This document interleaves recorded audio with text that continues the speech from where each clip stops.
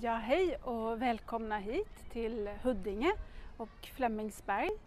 Jag heter Rebecka Valan och jobbar som konstintendent på Stockholms läns museum.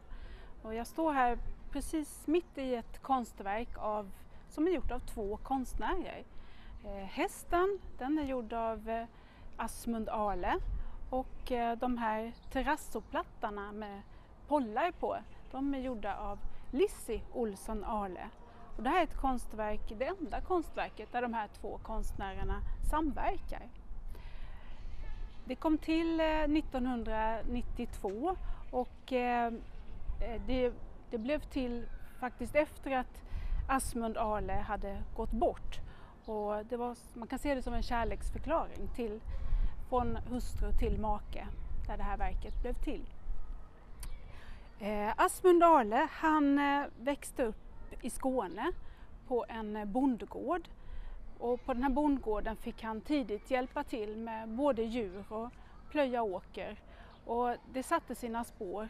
De här djuren de, de finns, fanns fortfarande i honom och han, eh, det präglade också hans konstnärskap.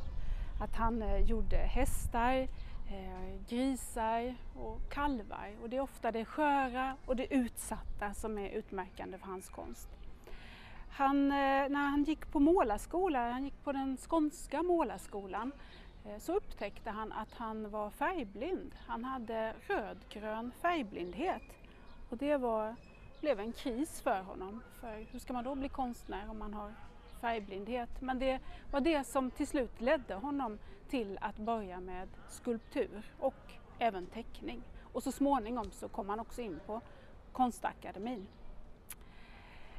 Hans hästar och hans eh, konst den finns överallt i hela landet. Eh, den finns också i Huddinge, för det var här som paret bodde under många år. Eh, så du kan se hans flicka med docka i Skogås.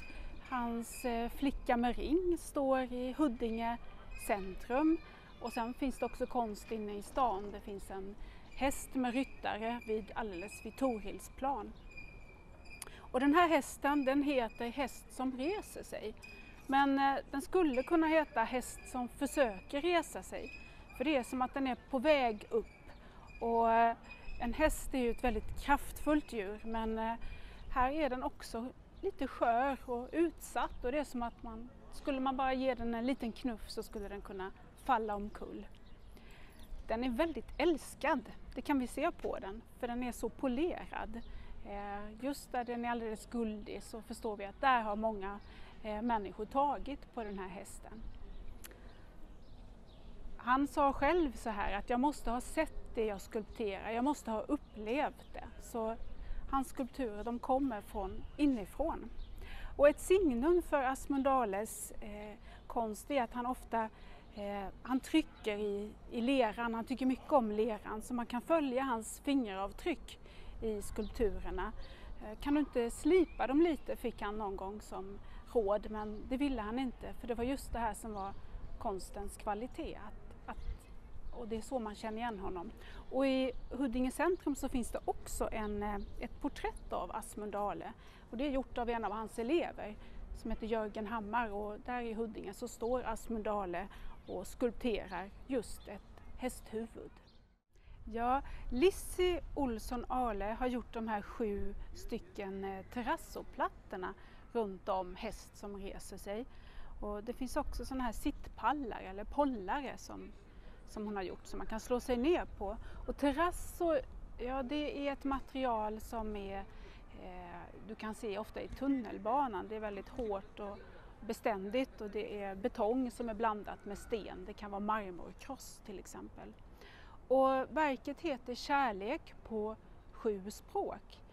Och då var det så att när hon eh, var här i området så var det de språken hon fångade upp just då. Och de sju språken det är kinesiska, eh, arabiska, grekiska, finska, eh, turkiska och finska, engelska och svenska. Och och eh, då står det kärlek just, men hon har också ristat in tecken i, i de här plattorna Och de där tecknen de har mycket med djur och kärleken till natur att göra. Lissi Olsson Ale hon har gjort mycket konst. Hon rör sig mellan måleri, textil och skulptur. Hon har gjort konst bland annat på Edeboskolan eh, här i Huddinge. Eh, och även så kan du se hennes konst i Näckrosens tunnelbana där hon har gjort hela valvet fullt med näckros och mer därtill. Så djur och eh, natur det finns i, i hennes konst och eh, här har hon liksom omringat den här hästen då med kärlek på sju språk.